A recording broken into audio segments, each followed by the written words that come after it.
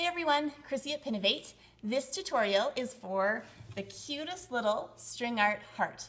In your kit, you're going to get a wooden block, a stencil, nails, paint, paintbrush, sandpaper, and string. The only other things that you're going to need would be a hammer and some scissors.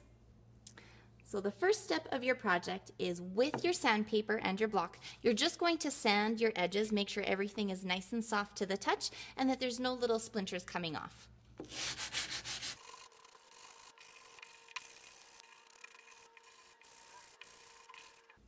Okay, so my board is all sanded, all the edges are soft to the touch, and I'm ready to paint.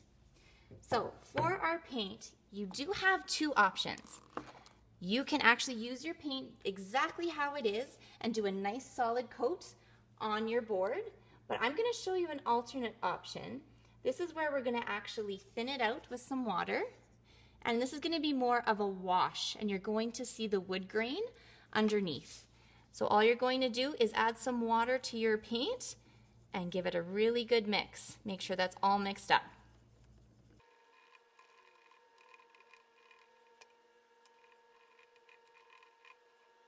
All right, we are ready to paint. So before you paint, make sure that you have your area all prepped.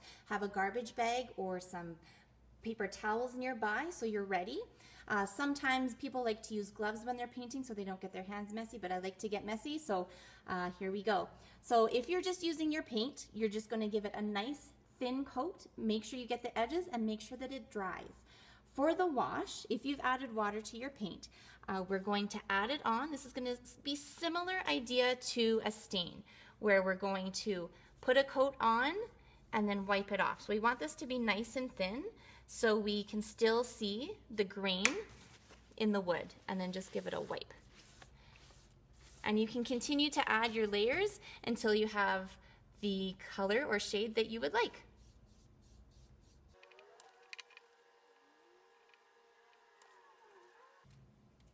And be sure to get your edges as well.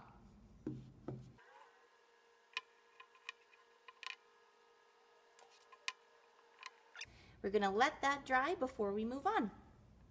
Once your board is totally dry, we're ready to move on. So you're going to take your stencil, center it on your board. I like to add a little bit of tape just to make sure that it's not going to shift while I'm nailing. And now we're ready to nail. So grab your hammer and grab your nails.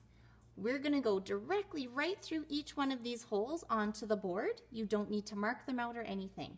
When you're nailing, you want to have your nail about halfway down to make sure that it's not going to wiggle and come out. And if your nail happens to tip to the side, just give it a little tap, tap, tap straight up again. And have fun.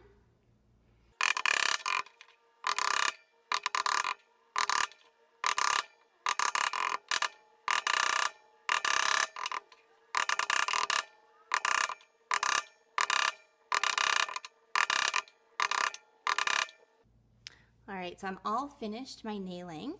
One last thing is have a look at it from an angle. Make sure that they're all roughly about the same height. It's much easier to string when they're the same height as opposed to being really tall and really short. So once you're done your nailing, you're going to pop off your stencil and you can just pull it right off. All right, we are set to string now. So the first thing we need to do is to tie our string onto the very top there. So to do this, we're going to make a little loop. I call it a little lasso. We're going to lasso that top nail, give it a pull and make a double knot. And then you can leave that tail out for a little bit.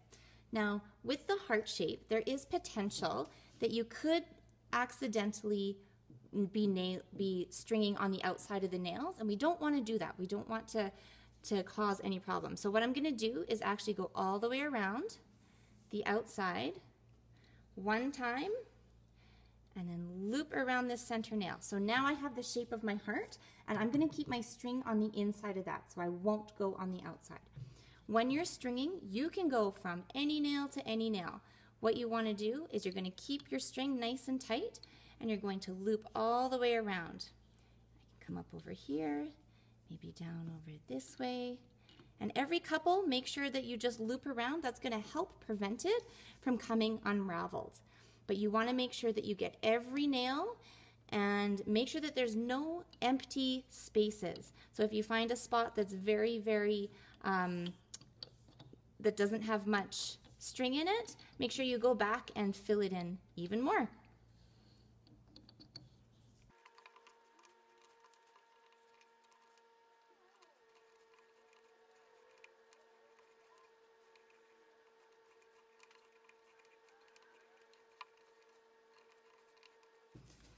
Once you're happy with how you filled in your heart, we're going to go around the outside just like we did at the beginning to give it a nice solid edge.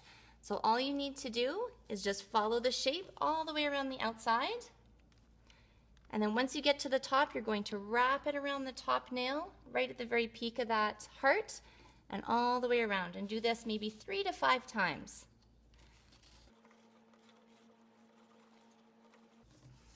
Once you're happy with your edge, cut a long tail at the bottom, and then you're going to do the same thing. You're going to make a little lasso, and you're going to place it at the very, very bottom nail and pull nice and tight.